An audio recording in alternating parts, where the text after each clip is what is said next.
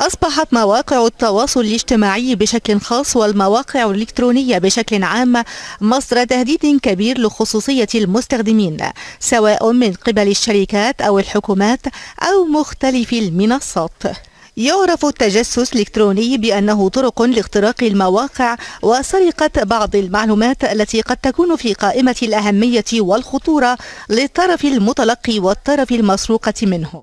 وبحسب موقع TechCrunch فهناك قائمة طويلة من الحلول للحد من مخاطر انتهاك الخصوصية اليومية عبر الإنترنت وحماية النشاط الرقمي من أعين المتطفلين.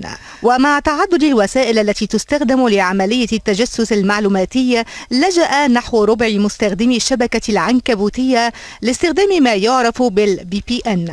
وهو عبارة عن إعداد برمجي ينشئ اتصالا آمنا ومشفرا للبيانات بين جهاز المستخدم وجهاز ما يعرف بالخادم والذي يزوده بالخدمة. وهناك خاصية الاختفاء على الإنترنت وذلك عن طريق وضع شريط لاصق على جميع كاميرات الويب. ومن بين الوسائل المستخدمة للحد من انتهاك الخصوصية استخدام تطبيق HTTPS الذي يمنع المتطفلين من الدخول إلى البيانات عبر تشفير جميع صفحات الإنترنت التي يدخل عليها المستخدم. هناك كذلك برنامج منع التتبع حيث تتصدر عملية التعقب قائمة أساليب الاختراق وانتهاك الخصوصية. هذه الأيام الأيام. فضلا عن برنامج منع الإعلانات وذلك لأن معظم الإعلانات يتم تحميلها من خوادم الجهات الخارجية التي تتعقب المستخدم عبر مواقع متعددة. ورغم أن بزوغ مواقع التواصل الاجتماعي وانتشارها عالميا ارتبط بتعزيز قيم الحرية والتواصل والحق في التعبير.